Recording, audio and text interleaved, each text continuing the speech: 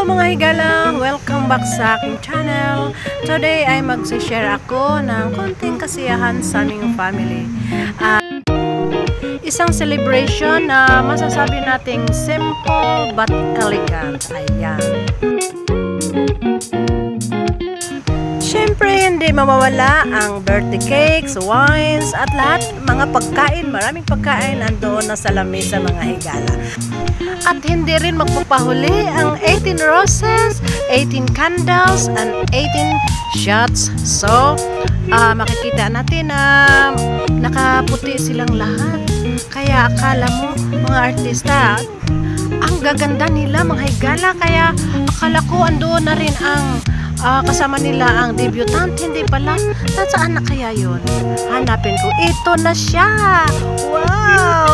May pa-background pa. Dagat at saka at saka, sino bang mga yan? Nako, may dala pang dalawang bodyguard, dalawang Prince Charming.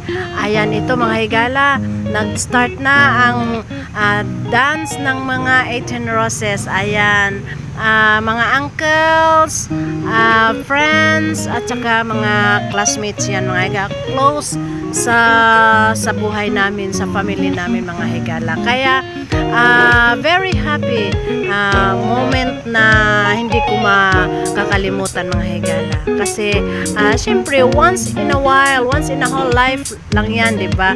Kahit ako hindi ko na-experience yung ah, magkaroon ng dibo sa buhay ko. Pero okay lang dahil naintindihan ko naman ang buhay mahirap. Kaya sikap lang, sikap lang.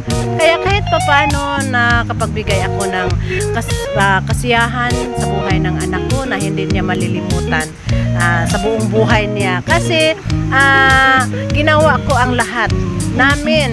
Ah, namin ah, whole family nagbibigayan kami hindi lang ako dahil hindi ko kaya hindi ko magawa na mag-isa lahat ng yan. Kaya ah, mula sa panganay namin ng kapatid hanggang sa bunso namin ah, sampu kami. Sa mga friends mga pamangkin namin mga pamangkin ko ah, maraming salamat sa inyong lahat. Ayan.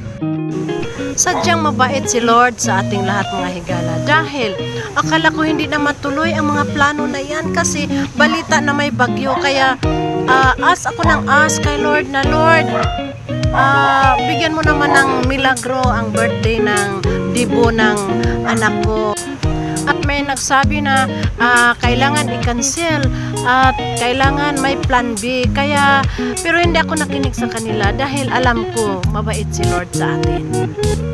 Kaya hanggang dumating ito thanks God dahil natuloy rin.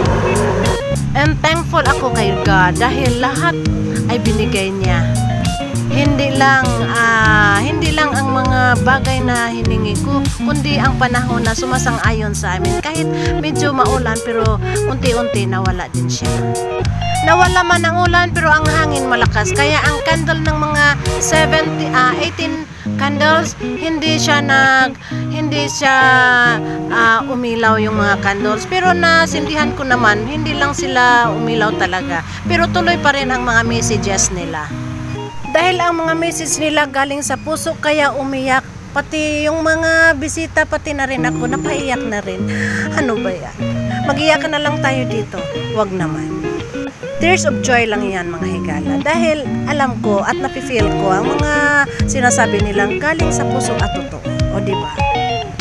Hindi talaga maiwasan hindi talaga mapigilan ang mga luha mga luha galing sa kanilang mga mata. Kaya na nakita ko sa mga mga mata ng mga nagbibigay ng message mo. Hindi lang yung mga ah, 18 candles kundi lahat ng mga ah, ninong, ninang ah, aunties, uncles na nagbigay ng ah, messages. Ah, very very ano sila yung mga nagdala ng sobrang pagmamahal. Kaya o ba pag magsalita tayo ng totoo galing sa puso natin, mapaiyak tayo. 'Yon, nakikita ko sa kanila. At syempre, hindi pwedeng hindi makapagbigay ng message si Mama Hands at isang halik ng debutant natin. Kaya ah, ngayon lang yan at, at itudo na natin mga higala. Yes! At syempre, hindi pwedeng mag-close ang party na hindi makapagsalita ang debutant namin. Kaya todo iyak rin siya. Magsabi lang ng thank you, thank you visitors. Iyak na iyakin talaga yan. At syempre, hindi mawala ang picture takings.